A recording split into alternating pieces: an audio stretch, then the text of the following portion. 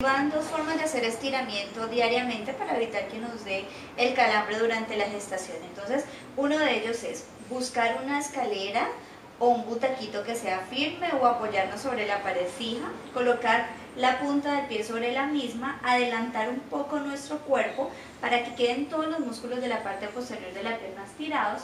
Contamos hasta 10 segundos. 1, 2, 3, 4, 5, 6, 7, 8, 9, 10. Relajamos la pierna, lo hacemos con la otra y lo podemos repetir de 2 a 3 veces. La otra manera de hacer el estiramiento es colocar un pie delante del otro de manera lineal. Ambas puntas de los pies tienen que estar completamente derechas. Vamos a mantener la rodilla de la parte de atrás completamente estirada.